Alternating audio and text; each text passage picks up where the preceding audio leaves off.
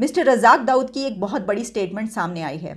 Mister Razzaq Dawood, जो कि adviser हैं प्राइम मिनिस्टर इमरान खान के, उनका कहना है trade with India need of the hour India से पाकिस्तान का ट्रेड शुरू करना वक्त की अहम ज़रूरत बन चुका है।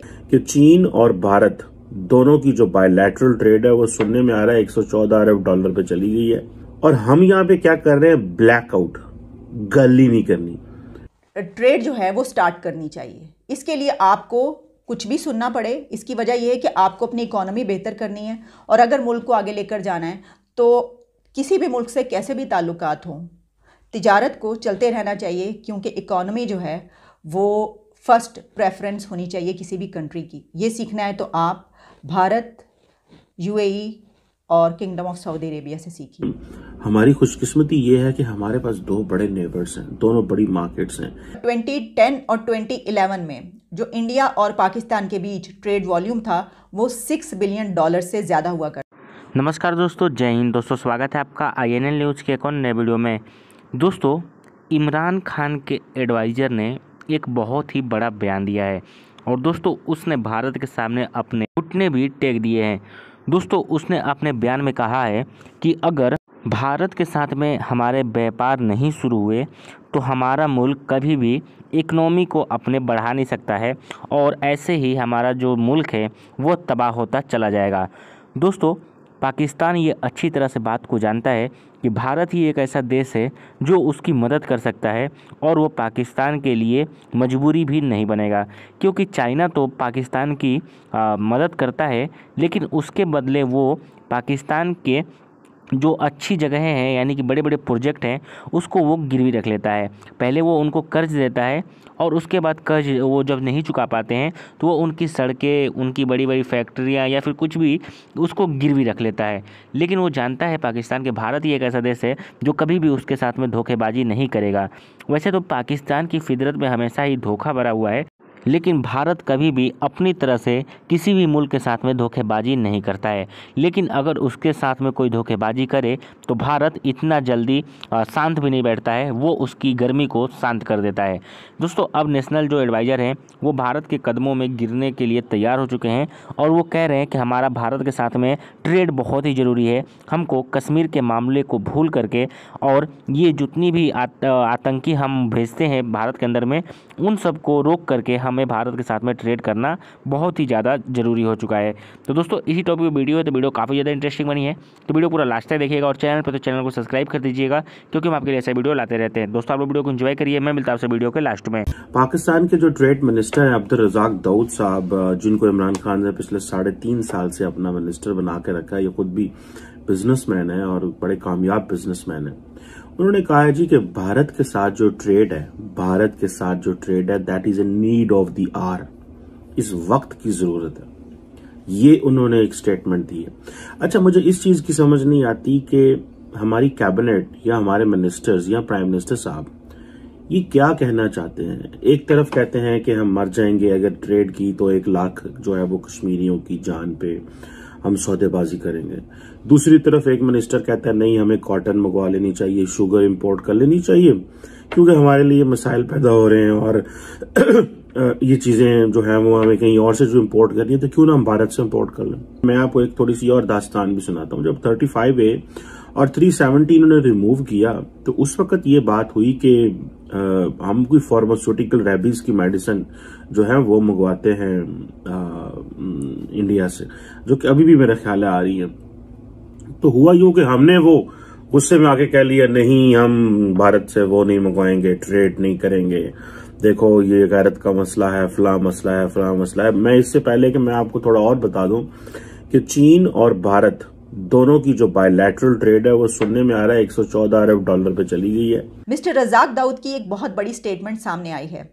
मिस्टर रजाक दाऊद, जो कि एडवाइज़र हैं प्राइम मिनिस्टर इमरान खान के on commerce textile industry production and investment उनका कहना है trade with India need of the hour India से पाकिस्तान का ट्रेड शुरू करना वक्त की अहम ज़रूरत बन चुका है। ये कहना है रजाक दाऊद का, जो कि एडवाइज़र हैं प्राइम मिनिस्टर इमरान खान के on textile commerce industry and production और इसके अलावा इन्वेस्टमेंट के।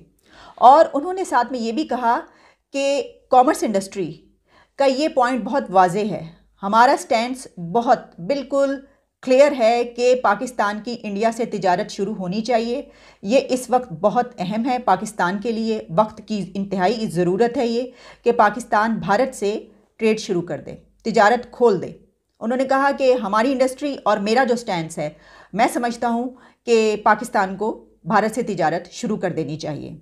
और साथ में उनका ये भी कहना था रजाक दाऊद का कि पाकिस्तान और भारत के बीच जो तिजारत है, जो ट्रेड है, उसका दोनों कंट्रीज़ को फ़ायदा है। लेकिन पाकिस्तान इसका ज़्यादा बड़ा बेनिफिशरी है। यानी पाकिस्तान को इसका भारत से बहुत ज़्यादा फ़ायदा है। और हम यहाँ पे क्या कर रहे हैं? ब्लैकआउट गली नहीं करनी। Most favourite nation status India ने हमें दिया हुआ था 1991 में। मेरा ख्याल है अरुण जेटली साहब उन्होंने वापस ले लिया। उन्होंने क्या जब ये हालात हुए ये सारा तो उन्होंने कहा, पाकिस्तान ने भी तो हमें नहीं दिया हुआ। और हम नहीं देते थे, हम इसलिए उनको मोस्ट फेवरेट नेशन स्टेटस नहीं देते कि इसके मुराद यह है कि पाकिस्तान के जो दाएँ बाजू के हल्के हैं, मैं आपको क्या क्या बताऊँ, यहाँ पे किस तरह के शिकूफे हैं। जो पाकिस्तान के दाएँ बाजू के हल्के हैं, वो कहते थे, जनाब, अगर अच्छा तो अब हम इंडिया को दुनिया का बेहतरीन मुल्क करार देंगे। यानी कि अब दुनिया इंडिया का बेहतरीन मुल्क हो जाएगा जब हम ये कहेंगे मोस्ट फिर लोगों ने को समझाया पाइन इसका मतलब ये है कि मोस्ट फेवर्ड नेशन स्टेट हम उसको कहते हैं जिसको, जिसके साथ हम कारोबार करना चाहें। हम उनको प्रेफरेंशियल ट्रीटमेंट देंगे। जिस तरह अभी लेट से यूएई और इंडिया ने जो है वो फ्री ट्रेड एग्रीमेंट किया है, जो एक दूसरे को सपोर्ट फैसिलिटेट किया है। ये हमें कौन बताएगा? कि हमने अगर इतने साल कारोबार नहीं किया इंडिया के साथ, या अभी नहीं कर रहे, ये जो इकोनॉमिक एक्टिविटी जनरेट हो सकती थी, उससे कितनी जिंदगियाँ बेहतर हो सकती थी, गुर्बत खत्म हो सकती, इसका कौन जिम्मेदार है?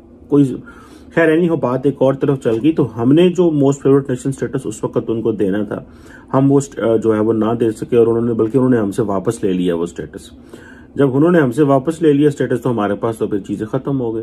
मैं आपको बता रहा था 370 और 35 ए की स्टोरी बता रहा था कि जब वो खत्म हुआ तो हमारी सरकार ने क्या नहीं जनाब, नहीं, कुछ भी नहीं होना रेबिस की मेडिसिन भी नहीं मंगवानी, हर चीज़ बंद कर दे ट्रेड ब्लॉकेट कर दो। हम जब अपनी ट्रेड की, अपनी एक्सपोर्ट्स की, सबकी बात करते हैं और हम कंपैरिजन करते हैं और करना भी चाहिए। देखिए, जब आपने आगे बढ़ना होता है तो कंपैरिजन आप किसी एक ऐसे कंट्री से करेंगे जो आपका नेबरिंग कंट्री भी है, जिससे आप वैसे तो हर चीज़ में बड़ा मुकाबला करते हैं तो फिर इसमें भी क्यों ना मुकाबला किया जाए देखा जाए कि भाई क्यों नहीं?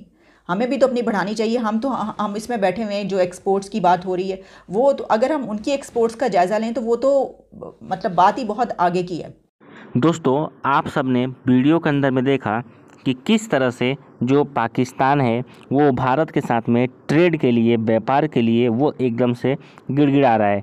और पूरी पाकिस्तानी मीडिया और पूरी पाकिस्तानी कौम इस बात को जानती है कि अगर कश्मीर का मामला सॉल्व हो जाता है। अगर हम कश्मीर के मामले में अपनी दखल अंदाजी न दिखाएँ तो भारत वो हमें माफ़ कर देगा और हमारे साथ में व्यापार स्टार्ट कर देगा। एक कश्मीर ही ऐसा मामला है, जिसकी वजह से पाकिस्तान जो है, उसकी इकनॉमी दिन पे दिन गिरती जा रही है। क्योंकि जो पाकिस्तान है, वो अब कश्मीर के नाम पे बहुत ही ज़्यादा पैसा लूटता है, लेकिन वो जो पैसा होता है, वो केवल सरकार के पास में जाता है। उससे किसी भी पाकिस्तानी कौम को उसका फ़ायदा नहीं मिल पाता है। दोस्तों पाकिस्तान हमेशा से सोचता है कि किसी भी तरह हमारा भारत के साथ में जो ट्रेड है वो चालू हो जाए और हमारी जो इकनॉमी है उसमें थोड़ी बढ़ोतरी आ जाए। क्योंकि पाकिस्तान जानता है कि भारत एक ऐसा देश है जो कि हमें कहीं भी ऊपर तक पहुँचा सकता है। क्योंकि जिस तरह से भारत ने पिछले कुछ दिनों में आ, कुछ सालों में जिस तरह से इतनी ज़्यादा तरक्कियाँ की हैं और इतने बड़े बड़े रिकॉर्ड अपने नाम कर लिए हैं और मोदी जी ने जिस तरह की पूरे इंटरनेशनल में अपनी लेवल को बना के रखा है उस तरह से पाकिस्तान और हर एक देश समझ चुका है कि जो भारत की पावर है, वो कितनी ज़्यादा है। तो दोस्तों, इसी टॉपिक पर वीडियो थी। तो उम्मीद करता हूँ आपको वीडियो अच्छी लगी होगी। अगर वीडियो अच्छी लगी तो वीडियो को लाइक कर दीजिएगा और चैनल पर तो चैनल को सब्सक्राइब कर दीजिएगा, क्योंकि हम आपके लिए ऐसा वीडियो लाते रहते हैं। दोस्तों, मिलते हैं नेक्स्ट वीडियो में नए टॉपिक के साथ में, तब तक के लिए बाय बाय